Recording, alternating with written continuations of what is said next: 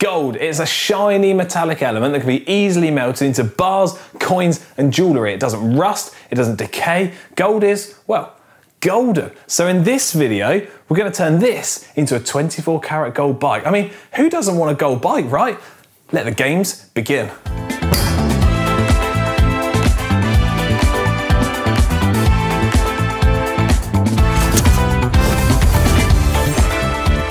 First things first, why gold? Well, people seem to love the stuff and it's seen as the ultimate bling, but its value is ultimately just a social construction. It's valuable because we say it is and we all agree that it will be in the future.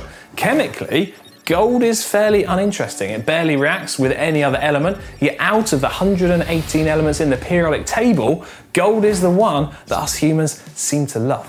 So anyway, back to the frame. Well, it's been through a lot. It's taken me through various challenges. I've ridden across some of the toughest sectors of Paris-Roubaix. And last year, I even tried to mirror polish the frame to a certain varying degree of success. But now, it's time for gold.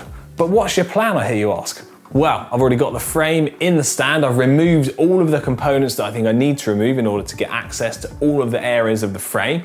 I've already wiped it over and removed much of the dirt that was on there and bits of dust. Then I'm gonna need to go over the entire frame with an abrasive paper just to rough up the surface. Now, it does pain me somewhat to say that, seeing as only last year I spent hours and hours and hours and hours trying to smooth this frame as much as possible. But, you know, we'll brush over that fact. Once that's done, I'm gonna need to wipe the frame all over with a microfiber cloth and some disc brake cleaner or isopropyl alcohol to remove any last bits of residue, dust and dirt that's gonna affect the adhesive sticking onto the frame. Then I can move on to applying the adhesive in the form of a spray glue. And then it's gonna be the crucial part, the best fun bit, where we start to apply some gold leaf. Right, let's do it. Ah.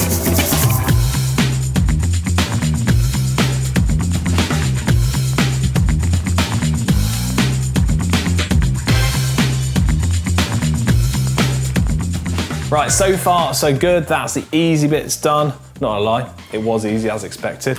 Now, next stage is to move on to applying the gold leaf. Now, I haven't done this before, so it is gonna be something new and something I'm gonna learn as we go. I have read up a little bit about how to apply it, but I'm the kind of person that likes to learn as I go. And that is the best thing about taking on projects like this for me. And if you like projects like this, and it sounds like your kind of thing, you probably like our Makers series over on GCN Plus, where we see two master craftspeople creating real cycling works of art. So if that's your thing, head over and check that out. But in terms of applying the gold leaf on this bike, let me show you the first piece. So I've got to be really delicate and careful here. So these are our sheets of gold leaf. Once I've got the adhesive onto the bike, which I'm gonna do next, I then need to simply carefully lay the sheets over onto the bike. Now these are super delicate. You can see it even blowing in the little bit of wind as I move it around. Then once it's on the bike, I can then take our soft, little delicate makeup brush and just work our way around, gently brushing the gold leaf onto all the adhesive and brushing off the loose bits. Then we just need to repeat the process however many times and bits of this gold sheet that's going to do to uh, do the entire frame. I think we could be in for a little bit of a long time here. But anyway, right, let's get to that. Three, two, one, let's go. Spray, stick, stay.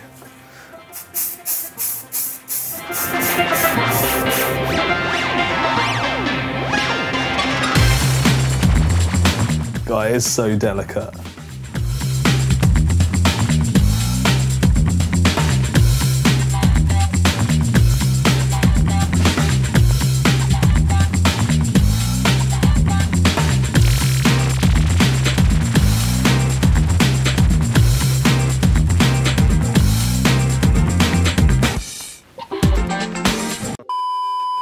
Oh yeah, by the way, there's not actually 24 karat gold leaf. That would be ridiculous. I'm not gonna blow the entire GCN tech budget on uh, 24 karat gold. I mean, Ollie wouldn't have any money left spare to do his uh, hair and makeup every week. So we're using imitation gold leaf just to save costs and be a bit more practical.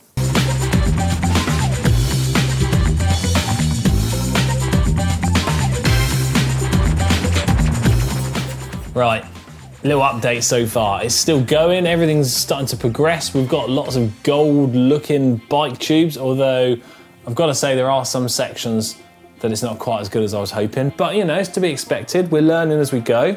The main tubes are a lot easier to do than some of the tight corners, especially where the welds are. There's quite a lot of little intricate areas that is tricky to get the gold leaf to adhere to, but we're making progress and it's starting to take shape. I'm quite happy about this. But anyway, right, less talking from me. Back to gold leaf then.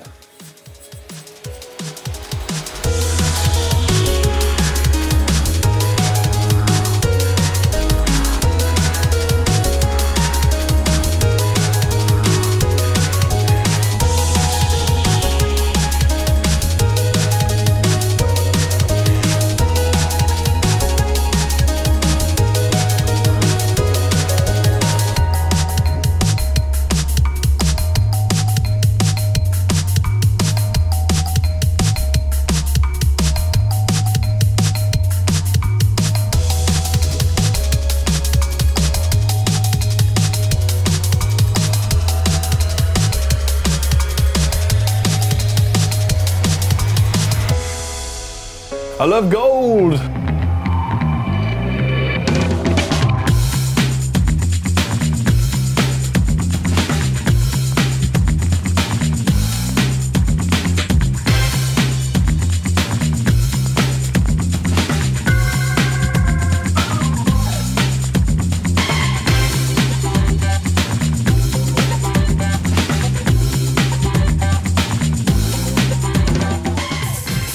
So update, where are we at? Well, there's gold leaf applied to almost all of the frame.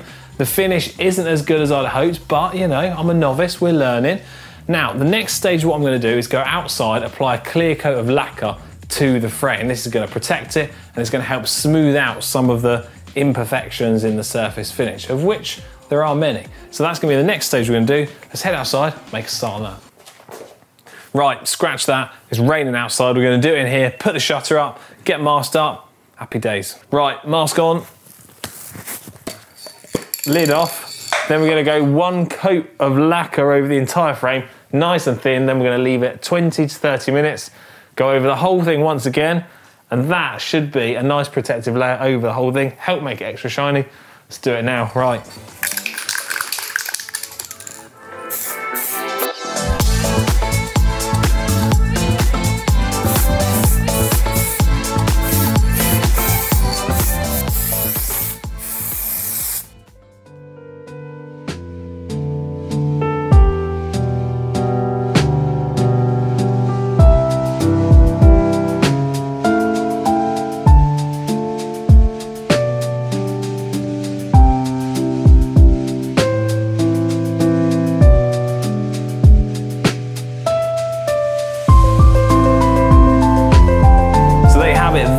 The finished article. I think it looks pretty cool. Why don't you let me know what you think of it as well?